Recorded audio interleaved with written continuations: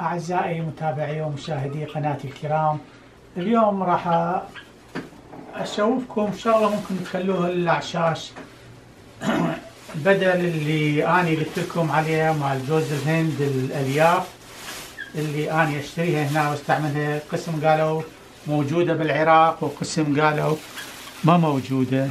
هاي الألياف هي اللي يرغب لها البلابل يسوون العش مالهم من عندها. ومثل ما ذكرت بأفلامي بأنه إذا ما دبرتوها هذا نوع ثاني. هذه يكيفون يأخذوها وحدة وحدة والبلبل طبيعته من يأخذ يلفها بالعش لف يسويها يعني دائرة تلتف بسهولة وحدة وحدة يأخذها ويسويها. آه كذلك استعمل أني آه القواني مال تمن. القواني مال تمن اللي تجي التمن يكون بنصها. بس الجماعة يقول نستعملها علاقة أحسن. هذه ممكن تأخذها وتقصها آه، مربعات صغار.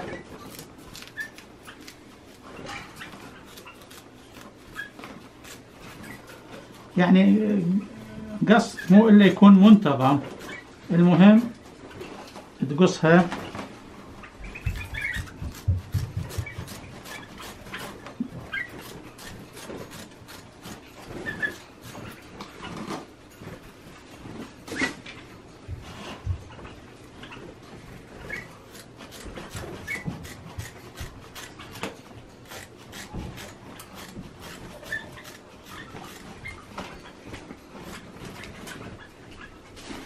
بعدين تقطعها قطع مربعات أو مستطيلات في الأحرى.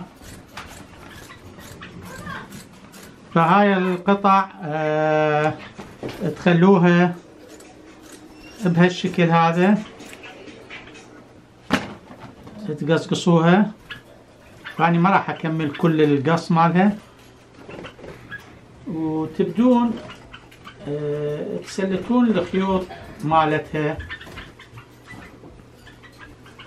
هاي الخيوط البلابل تكيف عليها آه تسحبها ولو شوية تطولون بها لكن البلابل تكيف عليها بناء العش بهالشكل هذه.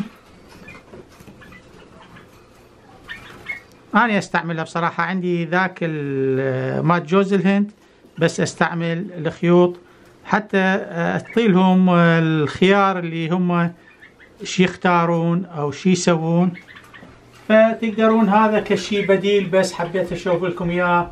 تستعملوه أنتو البلابل أثناء الموسم التفريخ البناء الاعشاش شغلة بسيطة ومتوفرة و تقدر تستعملها بأي وقت. وأعتقد القواني هاي ما تمن متوفرة بالأسواق أي قونية تمن تشتروها صغيرة أو كانت كبيرة المهم تقص الخيوط مالها وتستعملها. مع الشكر الجزيل أتمنى أن أفيدكم بشغلات وأتمنى لكم موفقية بتربية البلابل. مع السلامة.